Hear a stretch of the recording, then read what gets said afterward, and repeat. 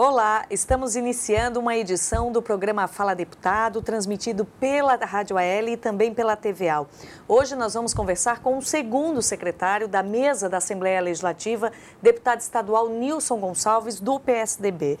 Deputado, muito obrigada por ter voltado aqui a gravar o programa Fala Deputado, a dar essas informações aos telespectadores e ouvintes aqui de Santa Catarina. E eu começo perguntando sobre o desenvolvimento econômico da região norte, que agora está sendo ampliado com a instalação de empresas grandes de renome internacional, que é o caso da GM e da BMW. As mudanças realmente começam a aparecer, deputado Nilson. Com certeza. Tudo uhum. bem, Sueli? Tudo bem, querido. Prazer estar com você de volta aqui. Um abraço também aos telespectadores que dão uma audiência considerável a esse programa, até porque cada vez que eu converso aqui, ah, repercute bastante a nossa conversa, a gente chega na nossa região e as pessoas sempre comentam que assistiram no programa, determinado comentário que nós fizemos, sempre tem alguma repercussão. Isso é muito importante, essa, essa participação do público também. É, com é? certeza.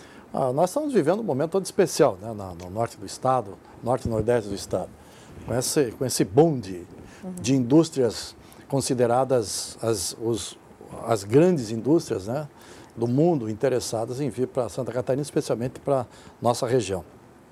Começou com a GM, né? A GM se instalou e tivemos ali o lançamento é de um carro da GM ali e tudo mais. Agora a vinda da BMW. Para Araquari, daí no caso. É, é a região nossa, é, né? Toda a, a região, BM né? Joinville, sendo, a, é, a, BMW em Araquari. Ah. E aí estava tudo conversado, as coisas estavam andando bem para aqui também a Mercedes, Mercedes-Benz pudesse, pudesse vir para cá. Só que a Mercedes-Benz, eu vou falar uma coisa aqui que não, fica só entre nós, vocês estão assistindo e, e a Suelen aqui. Né? A, a, o governador teve que assinar um termo, um termo de responsabilidade de não divulgar o teor das conversas que tinham com eles. Certo. Porque eles queriam um sigilo, sigilo, porque eles ainda não tinham a definição do estado nem do município onde iam se instalar. Sim. E Santa Catarina, mais propriamente Araquari, Joinville, e até o distrito nosso de Piraberaba hum. era o potencial recebedor da, hum. da Mercedes-Benz, é, estavam pautados para isso.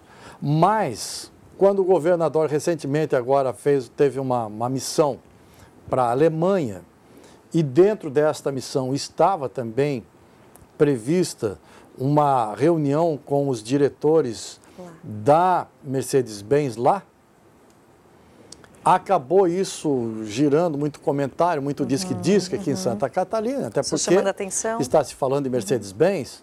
O que aconteceu? Acabou gorando, como diz, né?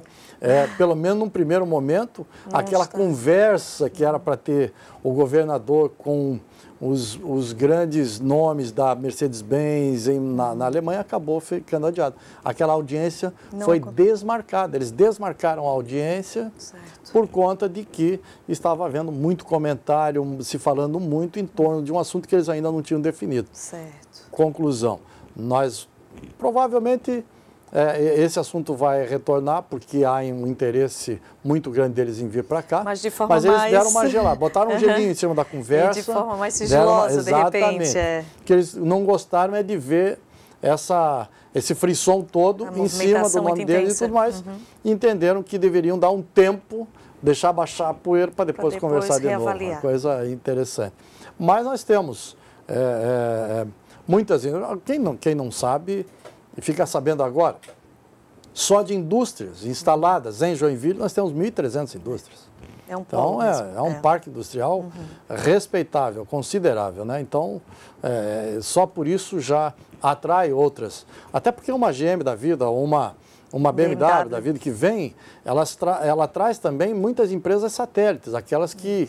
Que giram em torno, em torno dela, que, dependem, é. que, que, que, produzem para ela é, os elementos necessários para se compor aí um automóvel, uma moto, seja lá o que for. Uhum. Né? Então, e geram vários empregos exatamente. indiretos em torno disso. O município disso, de Araquari, né? só para você saber, está instituindo agora nas escolas uhum. o ensino do inglês, uhum. na base, lá na base.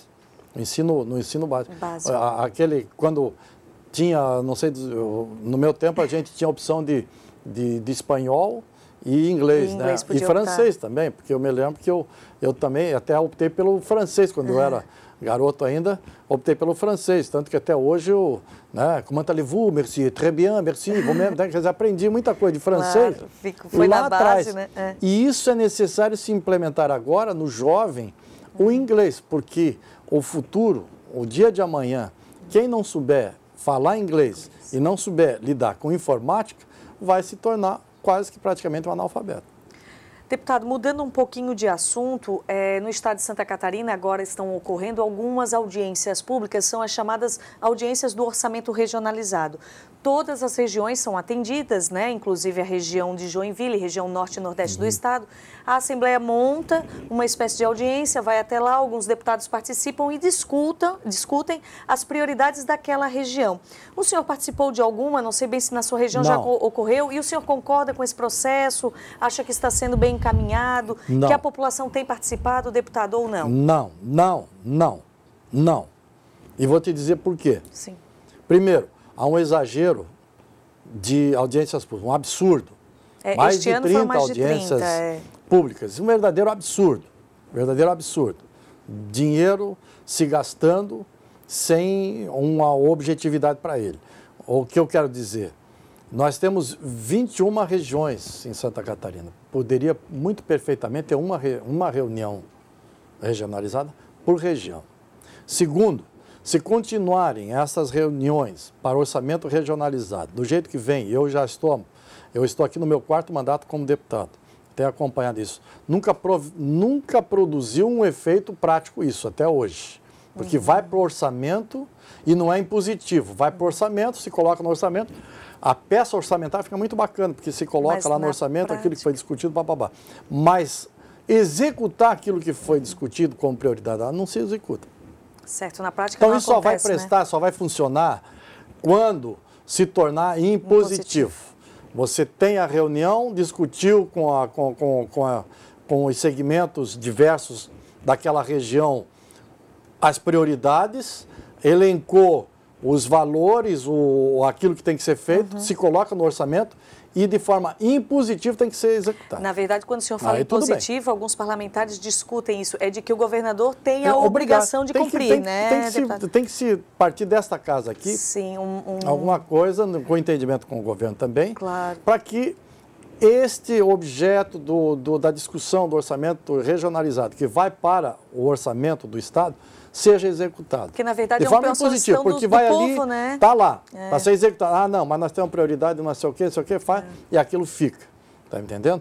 E a questão também, que foi objeto de discussão, até no próprio, próprio plenário da casa, uhum.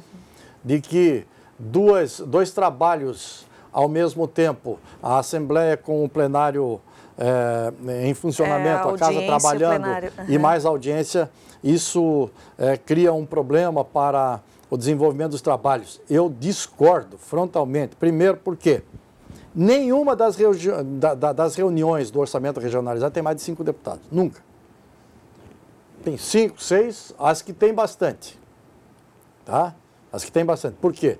Porque cada região vai estar lá o deputado da sua da, que da região. representa aquela região. Eu, por exemplo, não vou lá em Chapecó fazer uma reunião. Primeiro porque eu não, não nem conheço as, as, as, demandas, as necessidades né? é. e as demandas de Chapecó, mas os deputados que são de lá. Claro. Certo? E por que não fazer as sessões plenárias aqui? Se frequentemente temos lá quatro, cinco deputados nessas, nesses orçamentos. Nós vamos ter o quê? Nós somos 40 deputados. Certo. E o resto fica fazendo o quê? Vem trabalhar. É para trabalhar, vem trabalhar, vem para o plenário. Tá certo. Essa que é a grande verdade. Deputado, antes da gente encerrar, a gente tem 15 minutos de programa, faltam alguns minutinhos. Eu gostaria é. de falar sobre um assunto que o senhor sempre discute, apresenta, sugere, que é a questão da segurança pública em Santa Catarina. O senhor continua acompanhando esse tema, que é um tema que o senhor sempre é. debateu aqui no plenário da Assembleia, nas é suas verdade. ações e proposições? Nós estivemos lá agora na penitenciária de, de Joinville, hum. né? Uma penitenciária que é um verdadeiro exemplo para o país inteiro. Dois dois sentenciados lá com sentenças de 28 anos, outro parece que 23 anos, umas sentenças longas, condenados por homicídio, por tantas coisas e tudo mais, que saíram, até que parece coisa de filme, né? saíram dentro de um caixote, né? um caixote lacrado. Quer dizer, alguém lá dentro foi conivente, ou alguma coisa aconteceu, alguma falha aconteceu para que esses dois sentenciados saíssem dentro de um caixote de dentro da penitenciária e ganhassem a liberdade. Não é? Isso, inclusive, deu suspensão de gente lá dentro da penitenciária, investigação que está sendo desenvolvida e tudo mais. Isso agora, recentemente, é, deputado? Exatamente.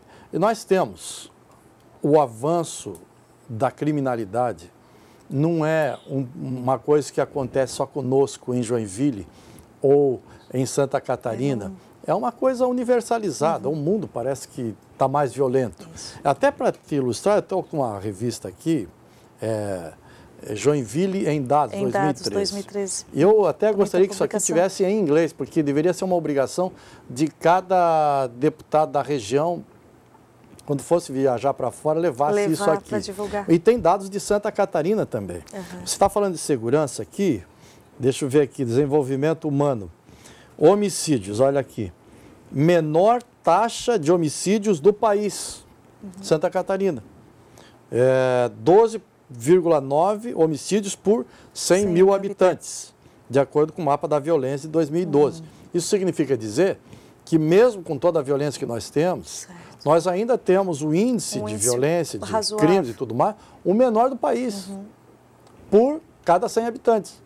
Significa dizer que nós estamos assustados porque nós estamos vivendo a nossa realidade. Se nós sair fora, se a gente sair fora, Fica e para São Paulo da vida, e para uma Curitiba da vida, aí nós vamos ver o bicho pegar lá mesmo, porque a coisa não está fácil. Certo. Não está fácil. Então, o que eu quero dizer? Não está bom. Mas nossos policiais, nossa polícia é muito boa, sabe? Tem maçã podre? Tem laranja podre? Tem, como tem toda a sociedade, é, em, em todos, todos, os, os segmentos. Ramos, é. Mas temos uma polícia muito honrada e que trabalha muito. E, evidentemente, um esforço monumental para que se pelo menos se tenha mais a sensação de segurança, porque não é só uhum. segurança, você tem que ter a sensação de segurança. Tem que se sentir seguro, né? Exatamente. É, você nunca foi assaltado, mas você não se sente seguro. Você precisa ter porque essa sensação medo, de segurança. Receio Exatamente. de ser, né? E é? isso é preocupante, isso é gera é estresse, né, deputado? Aliás, Alguns... eu sugiro a casa, inclusive, que tem essa revista aqui na casa, que para todos os deputados. Dá para mostrar aqui, não? Então, aqui. estamos mostrando sim. Uma revista muito interessante, tem dados de Santa Catarina inteira aqui, dados de Joinville, da região. É muito Bem interessante essa revista aqui. Deputado, Outro dia agradeço... vamos conversar sobre a revista. Vamos, vamos. A gente marca uma nova é, edição do Fala Deputado exatamente. e o senhor conversa e mostra mais um pouquinho é dessa verdade. publicação. Obrigada pela presença, deputado, e volte sempre que desejar. Suelen, sempre que você me convidar, estou aqui. Tá? Não, o convite está feito. Um abraço a todo o pessoal que está acompanhando o programa. Obrigada a todos os telespectadores da TV e ouvintes da Rádio AL. Continue acompanhando a nossa programação. Outras informações do Legislativo Catarinense no nosso portal da internet. Até mais.